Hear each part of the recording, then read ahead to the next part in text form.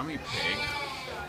She looks like she's pretty pregnant and she's getting straw out of the bales to take over to her bed to make a nest to have her piglets in.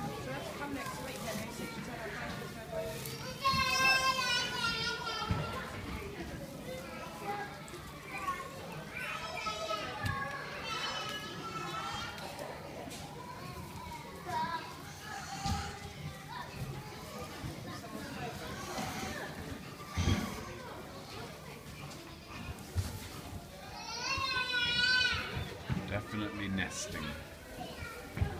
Shouldn't be too long now.